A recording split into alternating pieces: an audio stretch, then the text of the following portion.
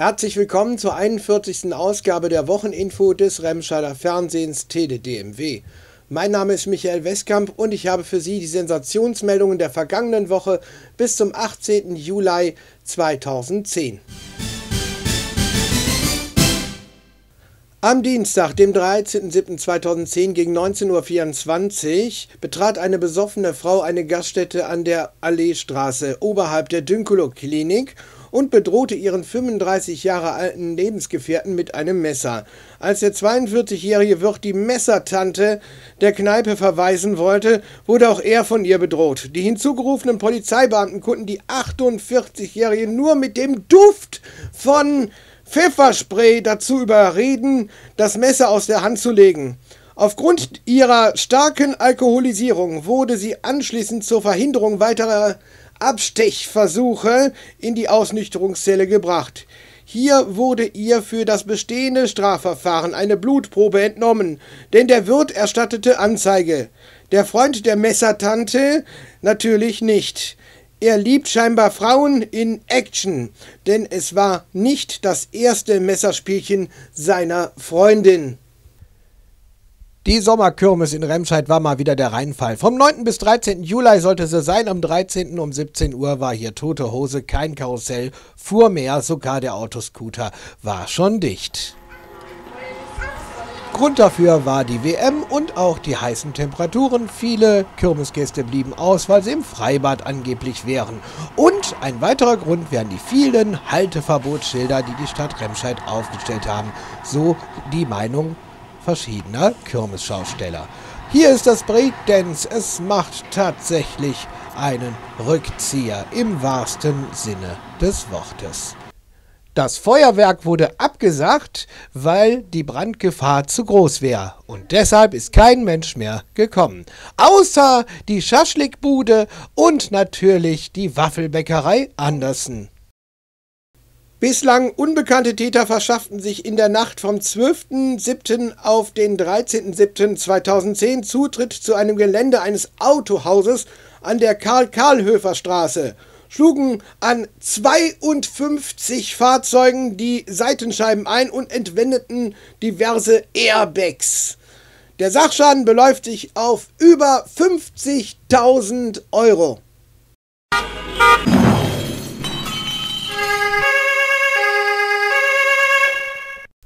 Der Hofgüldenwert ist wie immer gesperrt. Die Anlieger haben Probleme, zu ihren Häusern zu kommen.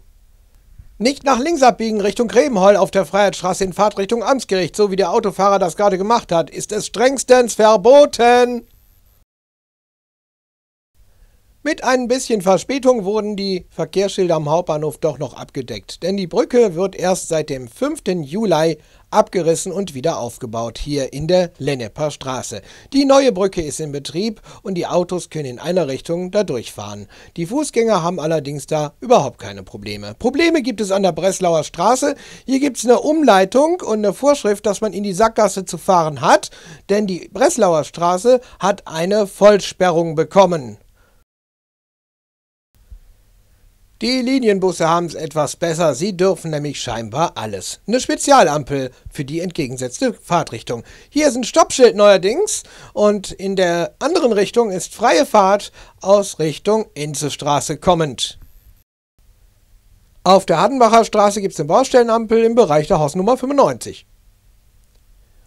Und wieder wird gebuddelt hier unten in der Haddenbach. Genauer gesagt auf der Ronsdorfer Straße. Hier ist ein ganzer Ampelkomplex aufgebaut worden. Für die Rohrverlegung. Man sieht braune Rohre, die riesengroß sind und über die Straße verlaufen. Und sie enden an einer Stelle, wo es ins Wasser runtergeht. In Münsten wird immer noch die Straße saniert und wir haben auch hier einen Bau einer Ampelanlage. Und deshalb hat man auch eine Baustellenampel aufgestellt, die unheimlichen Rückstau verursacht. Auf der Königstraße wird ein Haus gebaut und das funktioniert nicht ohne Baustellenampel. Zum Schluss wie immer noch der Programmhinweis. Im Anschluss dieser Nachrichten kommt der interessante Film Eine Bushaltestelle, wo keiner mehr abgeholt wird oder mit anderen Worten Neues vom Bahnhof Güldenwert. Schönen Dank fürs Zuschauen. Schauen Sie auch in der nächsten Woche beim Remscheider Fernsehen Tele DMW wieder vorbei. Wir wollen uns heute mal umschauen in Remscheid-Güldenwert. Hier ist die alte Haltestelle, dort wird man allerdings nicht mehr abgeholt. Die Haltestelle wurde verlegt und gegen eine neue ersetzt. Wir wollen uns mal in die Vergangenheit begeben und stellen uns vor, es wäre 22 Uhr und es wäre dunkel.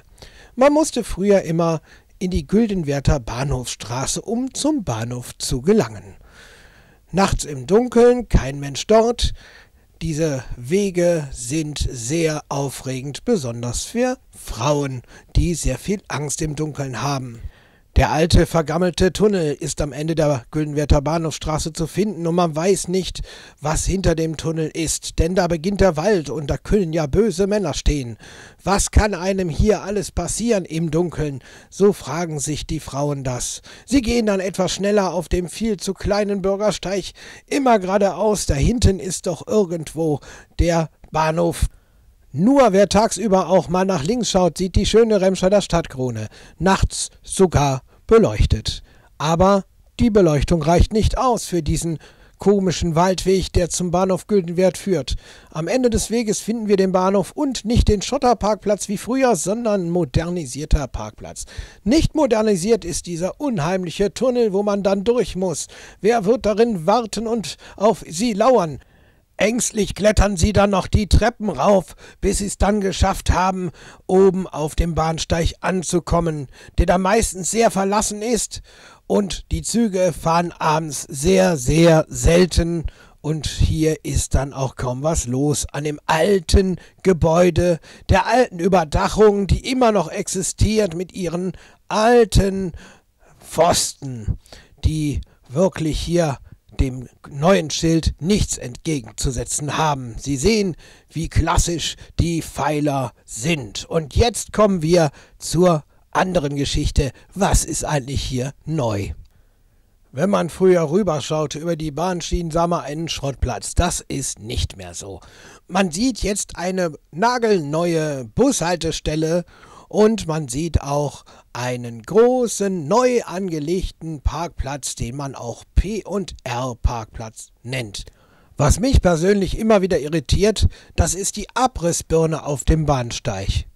Das Wartehäuschen für Leute, die es modern mögen. Oder auf der anderen Seite ein neuer Tunnel, der direkt eine Abkürzung bietet und den Umweg nicht mehr erforderlich macht. Und der Parkplatz ist auch ganz nett angelegt worden und auch einen Fahrradstand, wo man sein Fahrrad so lange mal abschließen und befestigen kann. Die Bushaltestellen sind selbstverständlich sehr dicht am Bahnhof, wegen den ängstlichen Frauen versteht sich. Und man ist auch irritiert, die Buslinien, die hier halten, es ist nur eine. Und zwar nicht die gängige 654 oder 655, es ist die Linie 658 oder scheinbar auch der Nachtexpress. Das ist etwas irritierend. Die normalen Busse halten vorne an der Hauptstraße. Hervorragend, ich komme also mit dem Bus an und brauche nicht mehr weit zu laufen. Von der Bushaltestelle aus kann ich da exklusiv zuschauen, wie mir der Zug vor der Nase abfährt. Eine tolle Erfindung, ganz fantastisch.